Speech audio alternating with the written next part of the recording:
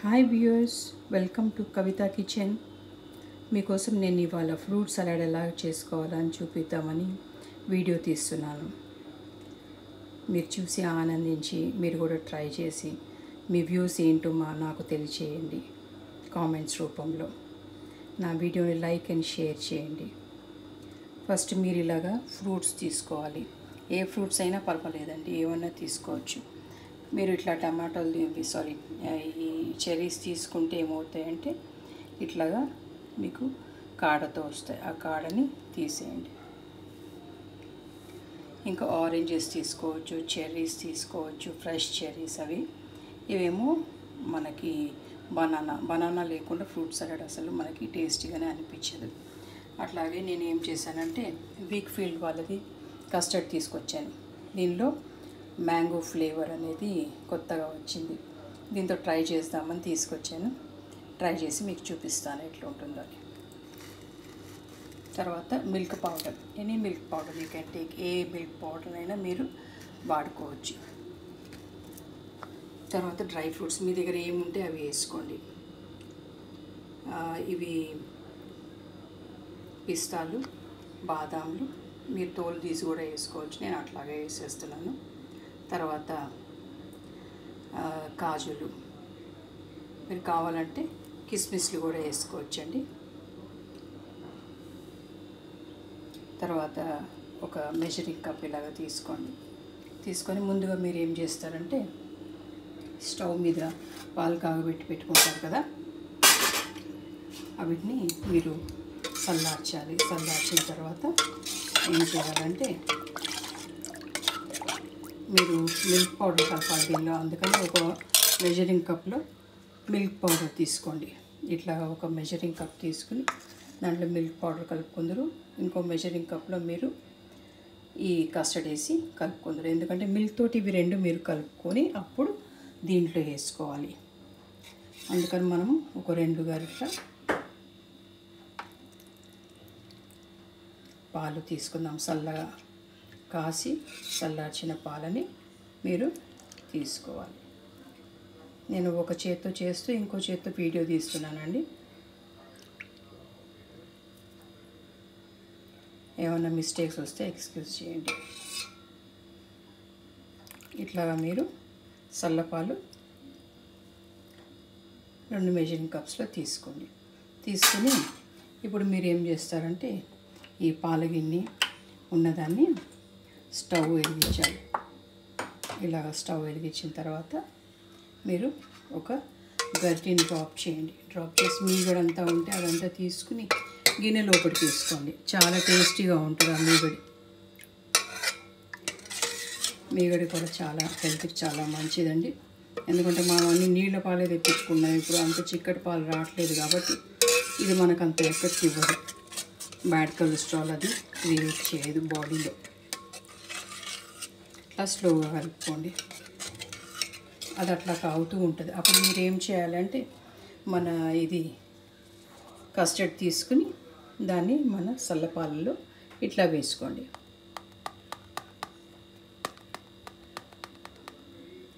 నేను కొంచెం పెద్దగా చింపుతాను దీన్ని.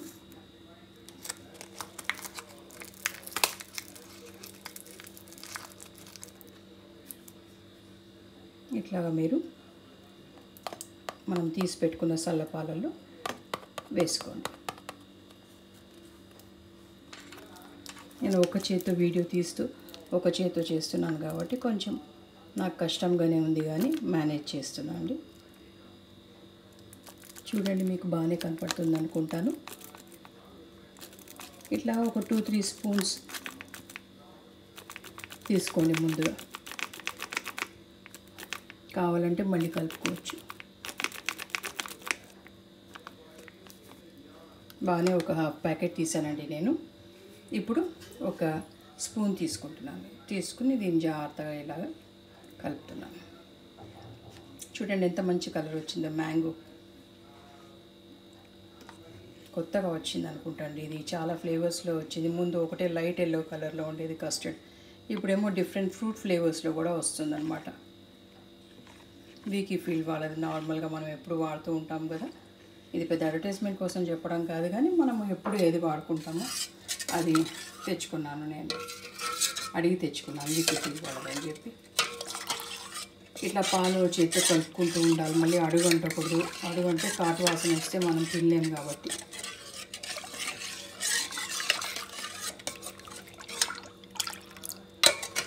మీరు సుమారుగా ఒక రెండు లీటర్ల పాలు తీసుకున్నాను నేను.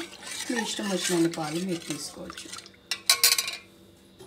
తర్వాత ఇది బాగా కలిపేసాం కదండి అదేమో వేడెక్కింది.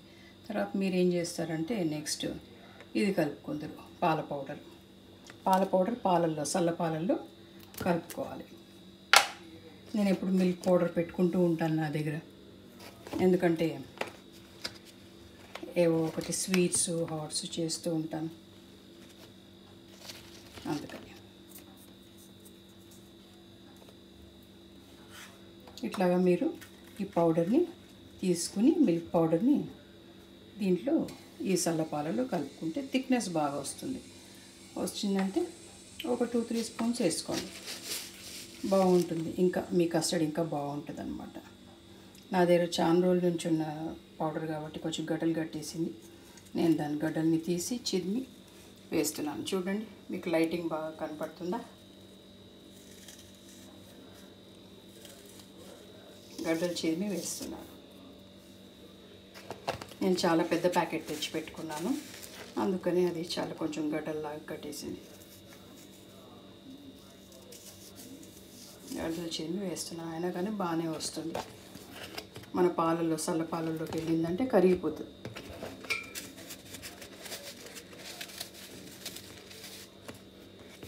చూడండి ఎంత బాగా కలిసిపోతుందో మిల్క్లో. మిల్క్ పౌడరే కదా మిల్క్లో కలిసిపోతుంది అట్లాగే. మీరు అమూల్ తెచ్చుకోవచ్చు. ఇక్కడ మేము చెన్నైలో ఉంటాం కాబట్టి మాకు ఆవినం దొరుకుతూ ఉంటుంది. అది తెచ్చుకున్నాను నేను. ముందు ఇది కలిపిస్తాను. చాలా థిక్గా వచ్చిందండి. ఈ గడ్డలు కూడా కరిగిపోతాయి ఏం కావు. చూడండి పేస్ట్ లాగా వచ్చేసింది. కోవా అనమాట కోవా లాగా అయిపోయింది అది. ఒక చేత్తో కట్టుపోయి ఒక చేత్తో కాబట్టి కలపడం కొంచెం కష్టం అవుతున్నా కానీ నేను మేనేజ్ చేస్తున్నాను వీడియో తీసేవాళ్ళు అవ్వలేరు మా పిల్లలు కొంచెం బిజీగా చదువుకుంటున్నారు. ఇట్లాగా మీకు పేస్ట్ లాగా వచ్చేసింది. పర్వాలేదు అయినా ఇప్పుడు మీరు పాలని కొంచెం సేపు ఇట్లా కలుపుకోవాలి.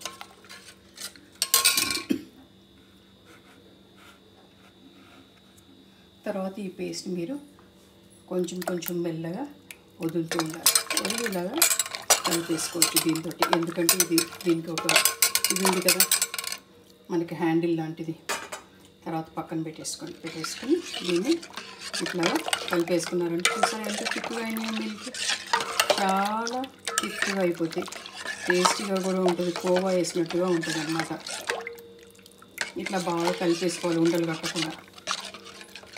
ఆ తర్వాత మళ్ళీ మీరు ఈ కస్టర్డ్ని తీసేసుకోండి. కస్టర్డ్ని ఒక్కసారి కలిపే ముందు ఒక్కసారి స్పూన్ వేసి ఇట్లాగంటే అది బాగా లమ్స్ కానీ కింద అడుగంటి కానీ ఏమీ లేకుండా పౌడర్ చక్కగా నీట్గా వస్తుంది అనమాట ఇప్పుడు మీరు దీన్ని తీసేసి సిమ్లో ఉన్న పాలల్లో ఇట్లా కలిపేసుకొని దీన్ని కూడా కలిపేసుకోండి ఇట్లాగా. ఎందుకంటే హ్యాండిల్ ఉంది కాబట్టి మీకు ఏం ప్రాబ్లం కాదు. కలుపుకుని ఎమ్మటే ఇంకా మీరు మెల్లగా ఇట్లా ఇట్లా తిప్పుతూ ఉండాలి. లేకపోతే అది ఉండలు కట్టేసి చిక్కగా అయిపోతుంది. ఈ టైంలోనే మీరు ఏం చేయొచ్చు అంటే ఈ మన డ్రై ఫ్రూట్స్ ఉన్నాయి కదండి ఇవన్నీ అట్లాగే వేసేసుకోవచ్చు. పెద్ద పెద్దగా ముక్కలు దుంచకుండా. మీరు అట్లా ముక్కలు దుంచారంటే దాని షోప్ అవుతుంది. అందుకని ఇట్లా వేసేసారంటే అవి బాగా నానిపోయి ఉడికిపోయి ఊరిపోయి చాలా టేస్టీగా ఉంటాయి. చూసారు? నేను ఎక్కువ డ్రై ఫ్రూట్స్ వేసాను చాలా లుక్కే చాలా బాగుంది. మీరు ఎన్ని అంటే నేను డ్రై ఫ్రూట్స్ వేసుకోవచ్చు ఏమైనా వేసుకోవచ్చు. ఇంకా పీనట్స్ అంటే పల్లీలు కూడా వేసుకోవచ్చు. చాలా బాగుంటుంది అనమాట దీన్ని ఇట్లాగే మీరు కలుపుతూ ఉండాలి. మీరు దగ్గర ఉన్నారంటే ఇట్లాగా హైలో పెట్టుకోండి. హైలో పెట్టుకొని మీరు కలుపుకోవచ్చు.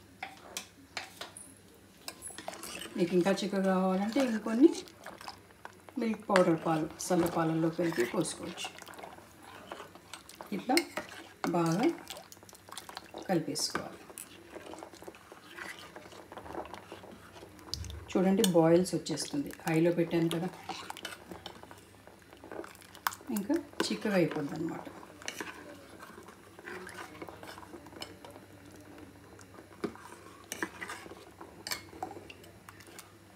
నాకు కొంచెం బరువుగా అనిపిస్తుంది చెయ్యి గట్లో పట్టుకుంటే.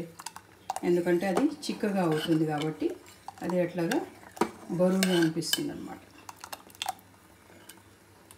చూడండి ఫోన్ ఫోన్ బరువు ఎక్కుతుంది. అంటే ఈ గరికి అంటే ఆ పాలు చిక్కగా అవుతున్నాయి అన్నమాట. కసడేయగానే ఒక్కొక్క చిక్కగా అయిపోతాయి పాలు. మీకు అందరికి తెలిసిందే అది.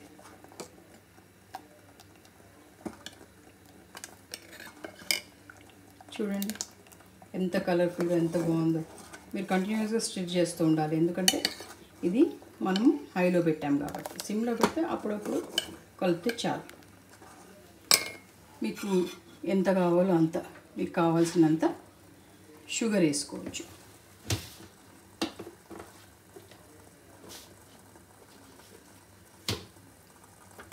ఇంత అని చెప్పలేను నేను ఎందుకంటే ఎవరి టేస్ట్ని బట్టి వాళ్ళు షుగర్ వేసుకుంటారు. వాళ్ళు తినే టేస్ట్ని బట్టి వాళ్ళు షుగర్ వేసుకోవాలి. చూడండి ఎంత చిక్కగా అయిపోయిందో. ఇంకా చల్లగా అవుతే ఇంకా చిక్కగా అయిపోతుంది. చూడండి నేను ఏం చేస్తూ ఉంటానంటే టీ పెట్టడానికి కాఫీ పెట్టడానికి ఒక డబ్బాలో ఇట్లాగా వేసుకుంటాను అనమాట ఈజీగా. దీనిలో టీ పొడి షుగర్ ఇంకా పౌడర్ షుగర్ ఇవన్నీ వేసుకుంటూ ఉంటాను. ఇది ఒక కొలత కూడా. మీకు ఏదన్నా దీనిలో ఇప్పుడు మనం ఈ స్టవ్ని సిమ్ చేసుకుందాం. ఎందుకన్నా మంచిది? మాడకుండా. అయిపోయింది. ఇంకా చిక్కగా అయిపోతుంది ఇది. మనము దీన్ని స్టవ్ని ఆఫ్ చేసేసుకోవచ్చు. అయితే ఇప్పుడు మనము ఈ ఇట్లా చెప్తున్నాను కదా ఇట్లా ఒక మెజర్ లాగా తీసుకోవచ్చు దీన్ని. ఇప్పుడు కొంచెం ఎక్కువ వేయాలనుకుంటున్నాను కాబట్టి ఒక చిన్న స్పూన్ కూడా పెట్టుకుంటాను ఇట్లాగా. తాలింపుల డబ్బా లాంటి దాంట్లో. ఇది మాకు డ్రై ఫ్రూట్స్కి గిఫ్ట్ లాగా వచ్చిందనమాట మా హస్బెండ్కి అయితే ఇట్లా ఫుల్ మెజర్ తీసుకుంటున్నా. మెజర్ లాగా కూడా పనికొస్తుంది ఇది అప్పుడప్పుడు మనకి.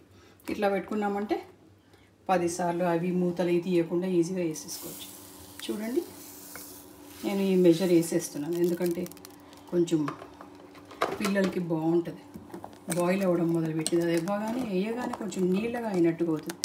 అప్పుడు ఈ వేడి మీద ఉంది కదా స్టవ్ మీద. స్టవ్ మీద ఉన్నప్పుడు ఆఫ్ చేశాను నేను. ఆఫ్ చేసినా కానీ ఆ వేడి ఉంటుంది కాబట్టి దాన్ని మనము కాసేపు తిప్పాలి. బాయిలింగ్ లాగా వస్తుంది చూడండి.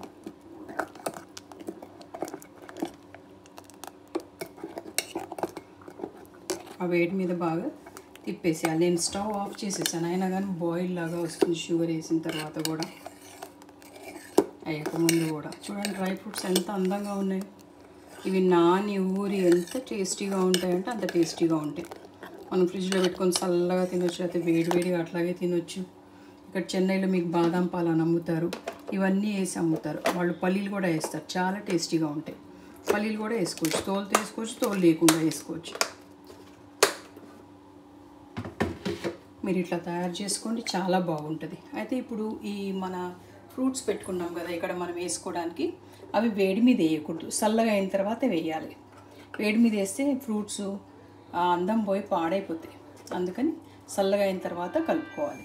ఫస్ట్ దీన్ని బాగా చల్లార్చిన తర్వాత ఇప్పుడు నేను లెంతిగా అయిపోతుంది కాబట్టి వీడియో చూపించలేను దీన్ని చల్లార్చిన తర్వాత అవి యాడ్ చేయడం అవి చేయలేను కాబట్టి ఇది చల్లారిన తర్వాత ఎప్పుడు కానీ మీరు చేసినప్పుడు డ్రై ఫ్రూట్స్ వేసేసుకోవచ్చు. కానీ ఫ్రూట్స్ వేసుకోవాలి అంటే బాగా ఈ మన కస్టర్డ్ చల్లగా అయిన తర్వాతనే మీరు ఆ ఫ్రూట్స్ని వేసుకోవాలి.